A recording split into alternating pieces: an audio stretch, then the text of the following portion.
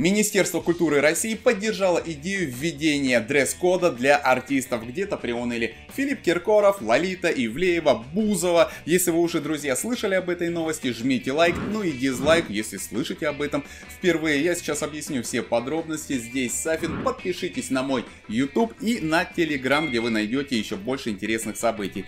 Итак, вот Интерфакс пишет то, что Министерство культуры поддержало идею введения дресс-кода для артистов, а Ура.ру нам напоминает предысторию, что послужило поводом для этого. Скандал с певицей Ольгой Бузовой в Уфе. Тогда, если вы вдруг подзабыли, она вышла на сцену, но в очень и очень откровенном наряде. А кроме того, в конце 2023 года, вспомните, что взорвало, какая новость в социальные сети?